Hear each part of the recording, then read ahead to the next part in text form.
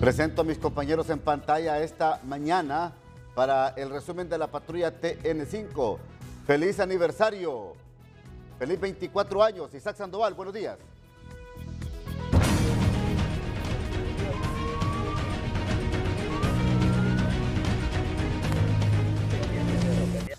Gracias, licenciado Ramón Matute. Igual feliz aniversario, igual a nuestros compañeros. Y en nuestro resumen de la patrulla TN5 del Distrito Central, le damos a conocer que lastimosamente continúan las muertes en accidentes viales. Anoche un conductor en supuesto estado de ebriedad ha terminado con la vida de una pareja que se conducía en una motocicleta en la salida hacia el sur del país.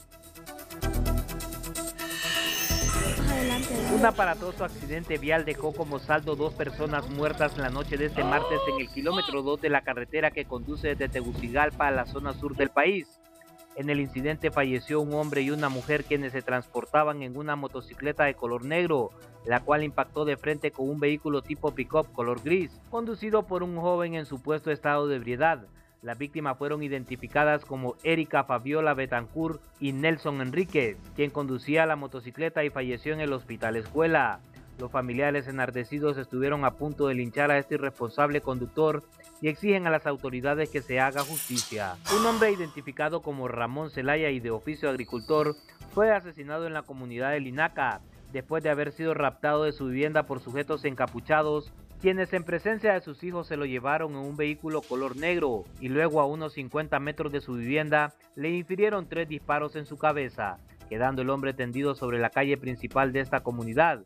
Familiares y vecinos se mostraron bastante consternados, ya que en este sector no es común ver este tipo de hechos violentos. El cuerpo de bomberos continuó su ardua labor para combatir incendios forestales en la capital, Sumado a la tragedia ambiental suscitada en la Tigra, ayer en horas de la tarde se produjo un incendio en una zacatera en la salida del departamento de Olancho que se tornó bastante peligroso, ya que el sector es bastante poblado. El mismo avanzó hasta una recicladora en el sector, lo que volvió la situación aún más peligrosa, pero al final la situación pudo ser controlada. Cabe señalar que dos bomberos tuvieron que ser trasladados de emergencia a un centro asistencial porque presentaron problemas de salud debido a la absorción de los químicos que se encontraban en la recicladora. Bien, hasta acá el resumen de los hechos más importantes ocurridos en las últimas horas en el Distrito Central y sus alrededores. Licenciado Ramón Matute, retorno con usted a los estudios. Vamos a San Pedro Sula. Orlin Martínez, feliz aniversario, feliz 24 años en TN5 Matutino. Buenos días.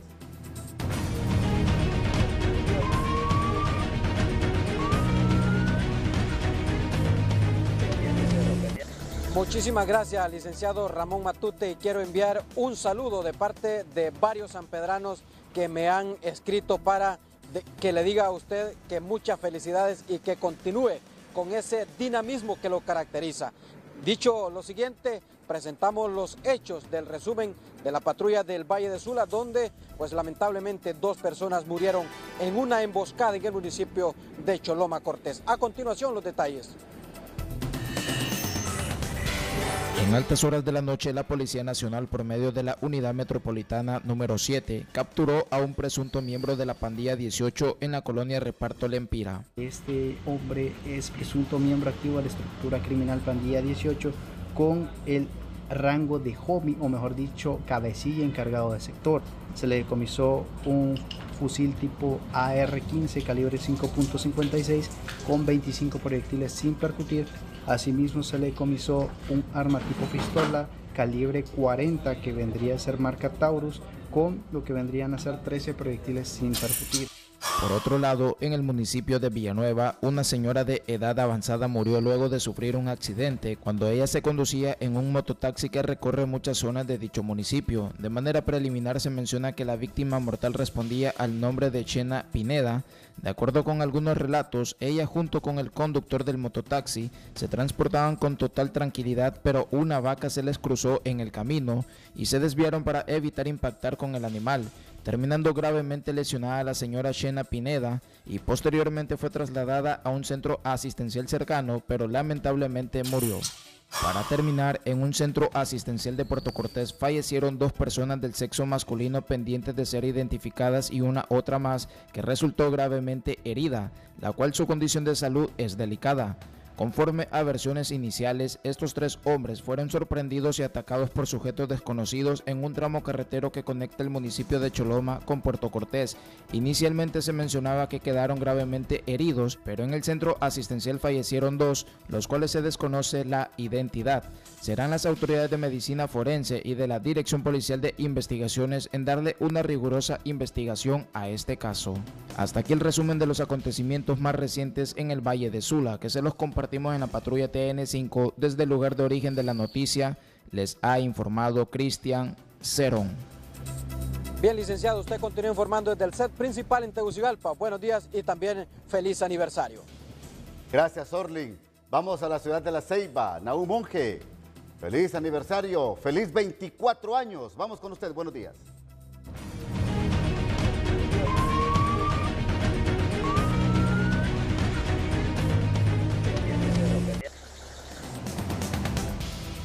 Gracias, eh, buenos días, licenciado Ramón Edgardo Matute, y muchas felicidades también para ustedes, para todos nuestros compañeros en Tegucigalpa y en San Pedro Sula, y por supuesto para nuestros eh, televidentes que a diario pasan, y específicamente eh, TN5 Matutino tiene un un espacio muy importante en horas de la mañana. En el transcurso de que hemos estado aquí nosotros, aquí cerca de la playa de los maestros, unas personas que pasan corriendo siempre nos dicen estamos pendientes de TN5 Matutino y desde esta ciudad de La Ceiba también envían un fuerte abrazo a todo el equipo que elabora en este tan importante noticiero. Pero antes conozcamos también el resumen de la patrulla TN5. Gustavo Bustillo nos informa sobre la detención de una presunta banda delictiva, así mismo como también un joven que fue asesinado a balazos en el municipio de Trujillo, departamento de Colón.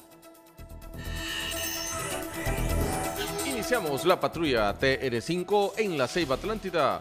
De varios impactos de bala le quitan la vida a un hombre en el barrio Capitolio ubicado en la ciudad de Trujillo en el departamento de Colón. El hoyo oxiso fue identificado como Marcos Jonathan Mejía Domínguez de 20 años de edad.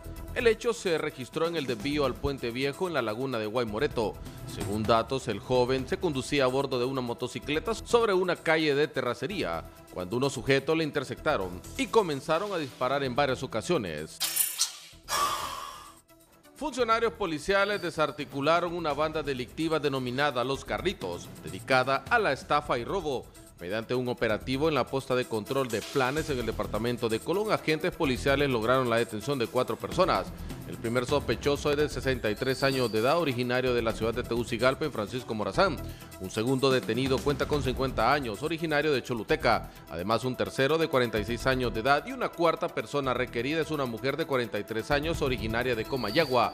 Los cuatro ciudadanos tienen su domicilio en la ciudad de San Pedro Sula, en Cortés. Según información, estas personas se dedican a cometer actos ilícitos de estafa y robo en el corredor entre las ciudades del Progreso Lloro, Tela y Ceiba en Atlántida y el resto de ciudades del departamento de Colón.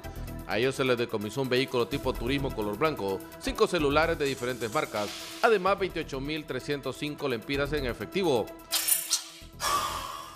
Familiares buscan desesperadamente a un joven de quien no se sabe nada de su paradero desde el pasado día domingo. Se trata del joven Cristian García. El joven en mención es originario del sector de Montecristo en Trujillo, en el departamento de Colón, y fue visto por última vez en la comunidad de Agua Amarilla.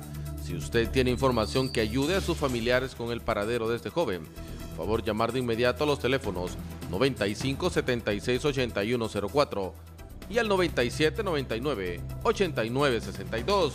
Hasta aquí lo más relevante a bordo de la patrulla TN5. Buenos días.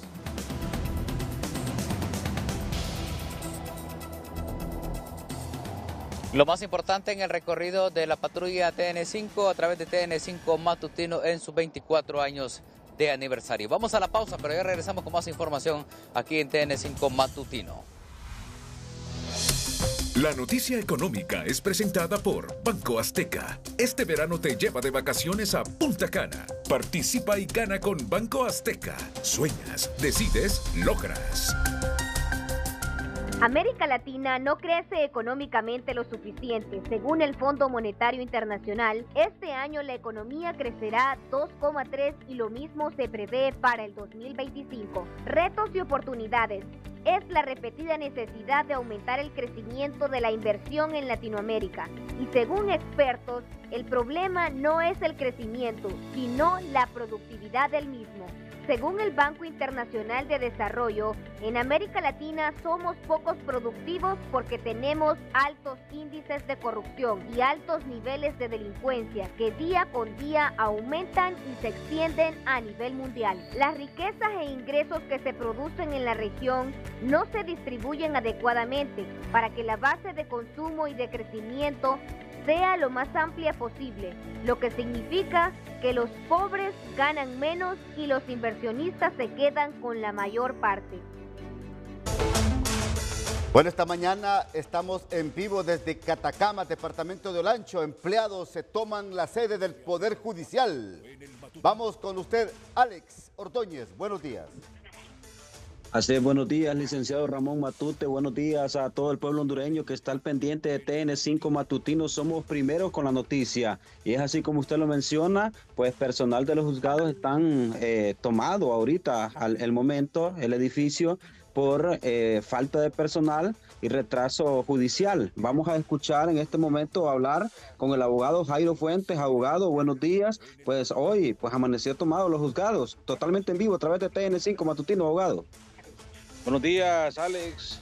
Ordóñez, muchísimas gracias por la oportunidad. En efecto, eh, desde las 6 de la mañana, pues nos tomamos las instalaciones eh, del juzgado para poder exigir lo que es eh, jueces, lo que es escribientes, lo que son secretarios, es decir, todo el personal auxiliar para poder reducir lo que es la mora judicial en este despacho de justicia. Y la verdad que estamos todos reunidos para poder efectuar y ser efecto eh, multiplicador entre todos los colegas, porque la verdad que eh, convocamos para las 7 de la mañana eh, para poder hacer una toma indefinida, para poder exigir a la presidenta de la Corte Suprema de Justicia esos nombramientos, porque no es posible que Juticalpa tenga ocho jueces, nosotros solo tengamos tres, tres jueces, el cual la mora judicial en las diferentes materias es bastante grande y exigimos a la Corte Suprema pues esos nombramientos para que se puedan eh, efectuar y la verdad eh, esos recursos humanos que tanto necesitamos porque aquí los jueces miran materia civil, penal, eh, laboral y en los que están en una audiencia penal pues se quitan el chig y van a otra audiencia y no, no permite avanzar en aquellas resoluciones del año 2013, 2014, 2000 17. La verdad que necesitamos dar respuesta a una ciudadanía y confiamos en Dios pues que, que, nos escuchen para poder efectuar eh, esos nombramientos que en realidad tanto lo necesitamos. Ahora, abogado, eh, ¿cuáles son los motivos? ¿Qué les han dicho? Por, porque estamos en un municipio grande, del municipio de Catacamas y muy poco personal. ¿Qué, ¿Qué les dicen las autoridades mayores? ¿Por qué no llega personal a los juzgados del municipio de Catacamas? Es correcto, nosotros por eso nos estamos eh, acuerpando, solicitando, porque la verdad que Catacama ya no es el pueblito de antes, ya Catacama necesita más personal, eh, jueces, eh, para que en realidad actualmente solo tenemos tres jueces y no, no se dan abasto a tanta la, la carga. Es por eso que la mora judicial es demasiado grande y esperemos pues que las autoridades competente pues nos den una solución porque la verdad que esto no es un problema de un gremio, esto es un problema de una ciudadanía que está esperando una solución, que está esperando una respuesta y confiamos en Dios pues que nos deja respuesta para poder efectuar eh, las diferentes resoluciones en diferentes materias. Así es, muchas gracias, abogado Jairo Fuentes, donde aquí, licenciado Ramón Matute, pues los juzgados de la mañana, eh, en esta hora de la mañana, se encuentran tomados justamente en el municipio de Catacamas. Esto es lo más importante junto a mi compañero Jorge Noé Ordóñez. Vamos a retornar con usted al estudio principal. Somos primeros con la noticia. Buenos días, licenciado Ramón Matute. Bien, gracias, Alex Ordóñez, desde Catacamas, departamento de Olancho. Retornamos aquí en la capital de la República porque los empleados públicos ayer se les confirmó un incremento salarial de 1.300 lempiras. Ahí estuvo negociando eh, José Orellana. ¿Qué más elementos rescatamos de esta noticia? Vamos con usted, Tony Munguía. Buenos días, Ramón. Nos acompaña José Orellana, de la representante de las eh, centrales obreras. ¿Qué fue lo que negociaron? 1.300 lempiras, tenemos entendido, pero también sigue la negociación a partir de abril. Buenos días, José. Buenos días, licenciado Tony. Un saludo al licenciado Ramón Matute mis felicitaciones sinceras. en este 24 aniversario de este programa que marca un ícono en el, en el país. Así que desde la Asociación de Enfermeras y Enfermeros nos sumamos a felicitaciones de este día especial. Sí, ayer fue un día muy importante para los trabajadores y yo quiero reconocer aquí actores muy importantes como el presidente Manuel Zelaya Rosales, quien fue un actor que intermedió en esta negociación y con el liderazgo de la señora ministra del Trabajo, la, abogada Sara Serna, ministro de la Presidencia y el ministro de Finanzas, Marlon Ochoa. Pues ayer logramos nosotros firmar un ajuste salarial que viene y dignifica un poco el tema del trabajo que hacen todos los compañeros a nivel nacional. Y vea usted, y es que el ajuste salarial va desde 1.300 lempiras hasta 2.300, 2.400 lempiras, porque, por ejemplo, una compañera que venía ganando un salario pírrico después de 30 años, esa compañera ya tiene 6 quinquenios, se le suman 600 lempiras a estos 1.300 lempiras, compañeras que tienen 4 décadas, o sea, compañeras que les toca 8 eh, quinquenios, 800 lempiras más los 1.300 del ajuste, estamos hablando de 2.100 lempiras, entonces creo que es un tema de justicia social también, esto sí nos agrada como representante de la clase trabajadora en este país. ¿Y qué es lo que se va a negociar a partir de abril ahora? Bueno, a partir de abril iniciamos negociaciones descentralizadas, que eso es muy importante, porque vamos a cada Secretaría de Estado, nosotros en el tema de salud, vamos a negociar con la ministra de Salud variable, turnicidad, zonaje, eh, bono por riesgo laboral, uniformes y una serie de colaterales que tenemos los trabajadores que se van a discutir a nivel de cada Secretaría de Estado, siempre con la veeduría y el acompañamiento de las máximas autoridades de gobierno. Así que también esto es esperanzador para los trabajadores porque a esto que ya negociamos se le va a sumar esta negociación que vamos a tener a partir de, esperamos nosotros, a finales del mes de abril o inicios del mes de mayo. Así que estamos muy satisfechos con esta negociación porque ahí donde nosotros sí podemos decir, pues tenemos un gobierno que se identifica, identifica plenamente con la clase trabajadora porque esta acción que sucedió el día de ayer a nosotros sinceramente nos deja muy complacidos porque es lo que nosotros esperamos de este gobierno. ¿Cuándo entra en vigencia? A partir de en la Gaceta, perdón. Bueno, en la Gaceta se comprometió el ministro de la Presidencia el día de ayer a publicarlo en el menor tiempo posible. Nosotros esperamos que la primera quincena del mes de abril esté publicado en la Gaceta, que la, Secretaría de Salud y toda la Secretaría de Estado lo programen para que más tardar el mes de mayo esté ejecutados estos pagos. Muchísimas gracias, Josué Oroyana, presidente de la NEI y también representante de las centrales obreras en esta negociación. Regresamos con ustedes. Buenos días es presentada por Banco Cuscatlán. Multiplica el ahorro siempre con tu nueva tarjeta de ahorro 1 de Banco Cuscatlán. La vida es como una taza de café. Todo está en cómo lo preparamos, pero sobre todo en cómo la tomamos. Una familia completa, luchadora y dedicada, lanzándose con un gran proyecto, Barista Coffee el encanto del café junto al lago de Yohoa. Una experiencia sensorial e inigualable. El encantador café ubicado en Peña Blanca Cortés, lago de Yohoa, atendiendo a todos sus clientes de lunes a domingo. Con el café más puro, amargo y natural que todos los hondureños deben probar. Representamos bastante lo que es el café el café hoy se ha vuelto en moda bastante, lo que es el, los gringos lo buscan bastante el expreso, nosotros tenemos lo que es expreso, capuchino, café negro, también tenemos licuado, ¿verdad? Tenemos variedad de fruta, son frutas naturales. Y también tenemos los snacks. La especialidad de la casa es el capuchino, es el que más se vende en bebidas calientes y también el café negro. Todos sus visitantes son bien recibidos por el aroma irresistible del café recién tostado, donde actualmente no solo atienden hondureños, también extranjeros. Invitan a la población que visite este encantador lugar, donde se acopla a los precios de todos sus clientes, tratando de que regresen nuevamente. Ayer el Congreso Nacional de la República lo hizo a puertas cerradas, pero bueno, se aprobó y se ratificó este tratado de límites entre la República de Nicaragua y la República de Honduras en el Mar Caribe y aguas afuera del Golfo de Fonseca.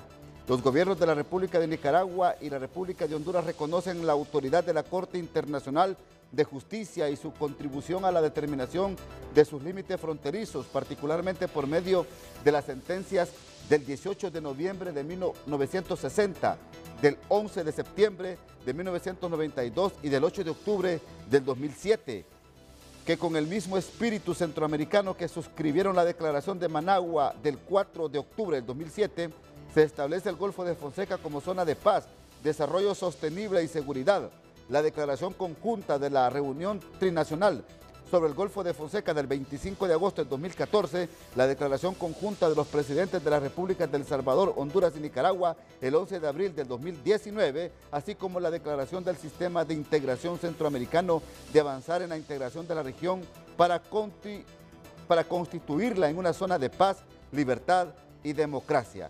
Y ahí están todos los puntos que contiene este tratado eh, de límites entre Honduras y Nicaragua en el tema principalmente de aguas en el Mar Caribe y en el Golfo de Fonseca.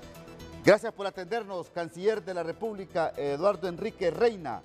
Eh, los alcances, por favor, de este acuerdo que fue ratificado anoche en la Cámara Legislativa. Buenos días, canciller. Buenos días y un saludo a todo el pueblo hondureño que nos ve y bueno, nos escucha a través de, su programa. Muchas gracias, Ramón. Efectivamente, ayer una noche histórica para Honduras, para sus derechos soberanos. En nombre y en representación de la presidenta Samara Castro, comparecía ayer ante el Congreso Nacional para presentar el, instrumento por el cual, se debería aprobar o ratificar el tratado eh, eh, suscrito entre Honduras y Nicaragua, particularmente eh, que se refiere al tema del eh, océano, del, mar Caribe, perdón, y de las aguas afuera del Golfo que Efectivamente esto contiene un respeto, una de las sentencias, como lo mencionaba usted, de 1960, que se establecieron los límites territoriales, porque en el lado del Caribe une el punto final de la frontera terrestre con el primer punto de la sentencia del 2007 en el Mar Caribe, entonces culmina prácticamente todo este proceso que invitó a la Corte Internacional de Justicia a ambos estados a ponerse de acuerdo de buena fe. Y de igual forma se cumple la sentencia del 11 de septiembre de 1992 eh, del caso Honduras-El en el cual eh, Nicaragua pues no fue parte, pero reconoce en este tratado eh, la validez de la sentencia y establece los límites entre Honduras y Nicaragua, aguas afuera del Golfo Fonseca y en las zonas eh, circundantes. Así que yo creo que es muy positivo para el futuro de nuestros países. Se culminan prácticamente 100 años de diferencias y de clausos, de arbitrajes, sentencias, y por lo tanto yo creo que es muy positivo para cerrar una etapa histórica e iniciar esta etapa de desarrollo eh, para Honduras y esto pues la presidenta Castro eh, estuvo muy atenta a este tema y agradecemos al Congreso Nacional que por unanimidad aprobó este tratado. Mire el cuarto, el punto cuarto de este tratado. Las partes recuerdan que la sentencia de la Corte Internacional de Justicia del 11 de septiembre de, 2000, de 1992 reconoce la existencia de una presencia tripartita en las aguas en la porción central de la línea de cierre del Golfo de Fonseca y en las aguas afuera del mismo hasta con una delimitación de las mismas fuese llevada a cabo. Es decir, el proceso de delimitación ya se tendría que hacer rápidamente, canciller. Bueno, ahora yo creo que hay una invitación muy cordial en el mismo tratado hacia el gobierno eh, y El Salvador, a otro país hermano, a que ahora hagamos lo propio y culminemos esta invitación que hizo la Corte Internacional de Justicia en el 11 de septiembre de 1992 a los tres países ribereños, es decir, El Salvador, Honduras y Nicaragua, para que nos pusiéramos de acuerdo y delimitar precisamente esta zona a partir de la bocana que se establecen los derechos y también delimitar las partes necesarias en el Golfo de Fonseca. O sea que ahora pues obviamente ya somos dos países que estamos de acuerdo, más la sentencia del 92, ahora pues solo quedaría a conversar con El Salvador para avanzar y culminar, yo creo, como le digo, esta época y, desarrollar precisamente el Golfo de Fonseca, que es lo que nos interesa eh, como países, un espíritu de hermandad y de paz. ¿Van a acercarse con El Salvador? ¿Habrá una reunión tripartita en los próximos días, canciller? Bueno, obviamente eh, ya Honduras históricamente ha presentado algunas propuestas al Salvador varias veces. Eh, lamentablemente no se ha desarrollado eh, ningún proceso a partir de estas propuestas que presentó Honduras en cumplimiento precisamente a la sentencia del 92 y estaremos pues a espera obviamente de que en el espíritu de las mejores relaciones podamos sentarnos los tres países y, trabajar en este tema. Ahora pues ya solo queda el proceso de perfeccionamiento del tratado que será crear los instrumentos eh, de ratificación, bueno, su publicación en la Gaceta, instrumentos de ratificación, intercambiarlos con Nicaragua y depositarlos ante la Secretaría General de las Naciones Unidas, como indica el tratado. Ahora, es una noticia positiva tomando en cuenta la peligrosidad del sector pesquero hondureño, sobre todo en esas aguas del Golfo de Fonseca, los constantes atropellos que tienen de embarcaciones eh, de las fuerzas navales, tanto de Nicaragua como El Salvador. Hoy Nicaragua reconoce este derecho a Honduras, falta que El Salvador haga lo mismo, aunque hay una sentencia ya desde la Corte Internacional de Justicia de la Haya desde 1992. Eh, importante sería este acercamiento, canciller. No, así es correcto y lo importante, como digo, la sentencia obliga a los estados a su cumplimiento, obligaba a Honduras y El Salvador. Eh, Nicaragua no fue parte de este diferendo en la Corte y por lo tanto es por eso el gran eh, beneficio positivo de este tratado. Y ahora pues yo creo que una vez definidos los límites debe ser más fácil para nosotros trabajar en conjunto para desarrollar, como bien nos señala usted, una zona de, desarrollo sostenible, eh, de, un, de una explotación eh, correcta de los recursos, tanto para los países como en este caso de Honduras, de los miles de pescadores artesanales que existen en esta zona. Y lo bueno también que se refiere al océano, bueno, al mar Caribe, donde también culmina el proceso prácticamente de, delimitación fronteriza, eh, el último punto que quedaba pendiente. Concluyo la entrevista preguntándole, por favor, canciller, usted ha lamentado la decisión de la Corte Suprema de Estados Unidos en aprobar la entrada en vigor de una ley migratoria en Texas. Eh, por favor, la posición del gobierno de Honduras. Bueno, sí, consideramos que esta ley viene a endurecer enormemente las políticas migratorias en un ánimo que viene precisamente a, provocar posibilidades de violaciones a los derechos humanos, de discriminación y hasta eventualmente racismo, lo que nos preocupa. Por eso hemos lamentado esta decisión, pero dentro de eso ayer hubo una más tarde, también ya muy tarde en la noche, una decisión de la Corte del Circuito 5 de Texas que eh, ha aprobado una suspensión de la aplicación de la ley Estamos pendientes que la ratifique el día de hoy. Esto pues se podría dar otro espacio de respiro, mientras en la Corte de Apelaciones se define en Estados Unidos si esta ley puede entrar en vigencia o no. O sea que si esta suspensión entra en vigor, también pues habrá otro medio espacio de que no se aplique la ley. Estamos pendientes de esta noticia pero esperamos realmente que esta ley no entre en vigencia completamente, porque como lo reiteramos, viene más bien a, generar posibilidades de desunión familiar, afectar los problemas que se viven ya en la frontera por los migrantes y a la dignidad y los derechos humanos, que es lo que el gobierno de la presidenta Castro eh, está siempre pendiente de proteger.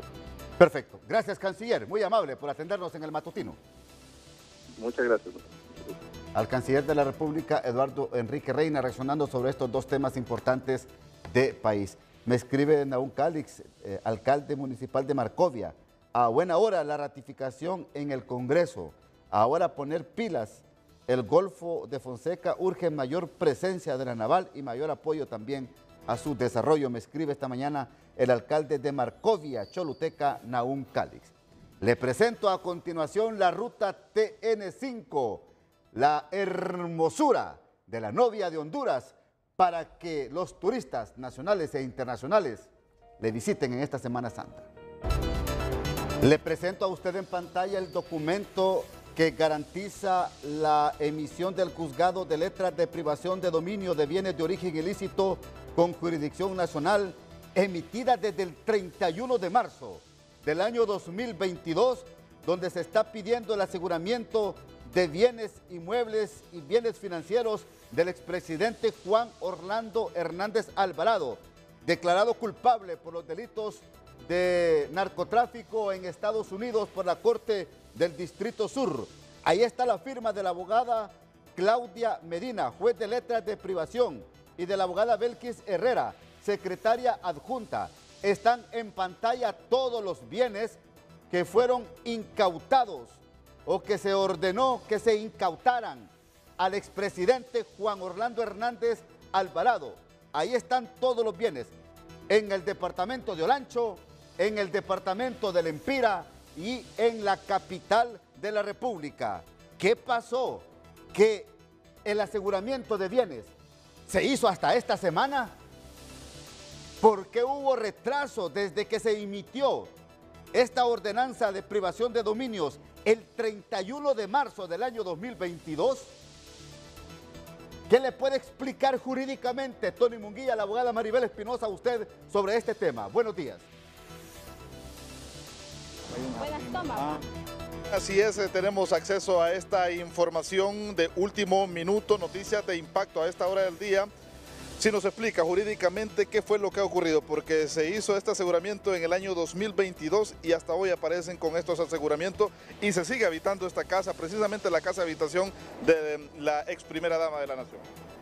Muy buenos días al pueblo de Honduras. Tengo evidencia de esos pactos de impunidad. La OAVI desde el 31 de marzo del año 2022 aseguró todos los bienes o, parte de los bienes de Juan Orlando Hernández y Ana Hernández.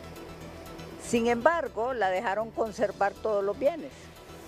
Y hasta que se lanza y hasta que lo condenan a él, entonces están haciendo el nuevo show. Mire, es una pena. Y esto es del actual gobierno, porque la OAVI, la quien designa a quien dirige la OAVI es el Ejecutivo.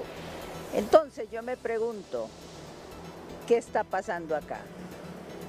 La señora se lanza, eh, esa es una situación interna de su partido por ahora, es reprochable, sí, porque ella pues al menos es cómplice de Juan Orlando Hernández y pero está en política, porque eso es lo normal en este país donde la corrupción pulula. Pero lo grave es que yo me pregunto, no hay igualdad ante la ley, porque cuando le aseguran bienes a otras personas, y voy a citar un caso, cuando le aseguraron los bienes a la familia Rosenthal, los echaron de su casa el mismo día.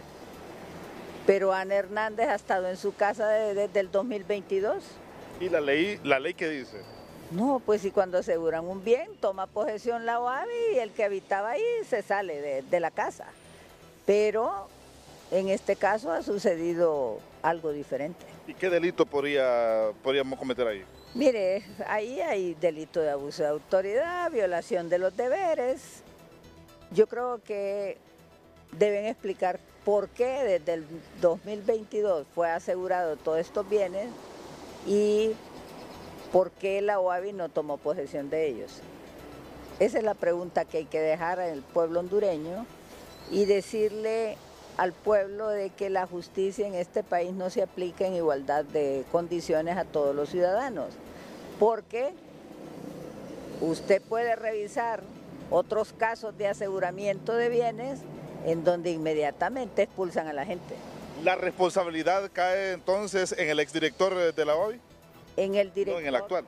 En el director que estaba en su momento y que permitió que dejara, ¿verdad?, esta señora vivir en la casa después del aseguramiento. ¿Y se debe de investigar?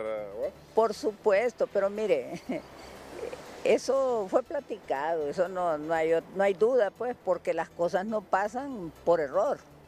Las cosas pasan porque se decide que pasen. Ya hay un documento, eso es lo que quiere decir. No, lo que quiero decir es que aseguran, pero la dejan con privilegios.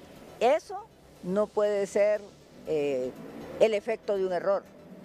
Eso fue porque así se quiso. ¿Y quién ganó con eso? ¿Quién fue el que ganó eso? ¿Quién planeó eso? No, es que son, mire, le avisaron y hay prueba, porque es la misma declaración de Ana García, que Mel Zelaya le avisó a Juan Orlando de que venía su extradición. Eso es público.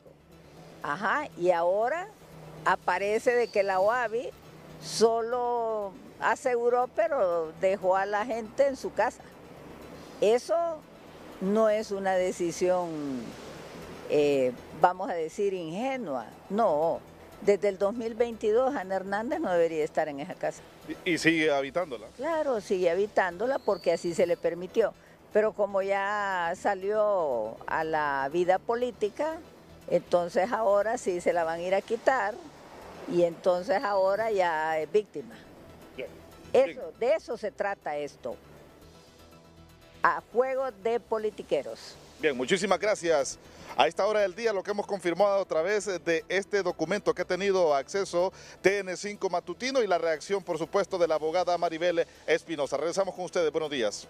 Por eso somos TN5 Matutino, primeros con la noticia. Hasta aquí el noticiero los dejo con el resumen legislativo. La Junta Directiva del Congreso Nacional juramentó anoche las nuevas autoridades de diferentes organismos nacionales escogidos en elección de segundo grado. Después de debatir por varias semanas, la bancada de los tres partidos mayoritarios lograron un consenso y eligieron a los altos cargos de segundo grado, dándole prioridad a los organismos que están relacionados con las elecciones próximas. Dichos cargos quedaron ocupados de la siguiente manera. El Consejo Nacional Electoral quedó integrado por Ana Paola Hall, Marlon Ochoa y Cosette López, y como suplentes quedaron Karen Patricia Rodríguez y Carlos Enrique Cardona. En cuanto al Tribunal de Justicia,